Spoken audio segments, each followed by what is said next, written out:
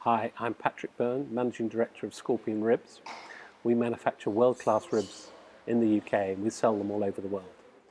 We are very keen to support this technology because sustainability is part of Scorpion's ethos and the combination with diesel electric engine is really appealing to that ethos. This technology has a real future, but in the harsh marine environment it has to be reliable. The technology is already proven in other vehicles, so that is a very good starting point. And we're very pleased to be working with someone like REAPsystems, who have the knowledge, experience and enterprise to develop this technology into a really reliable product. Reducing pollution, especially in sensitive marine areas like coral reefs, is a priority, and this technology will definitely help.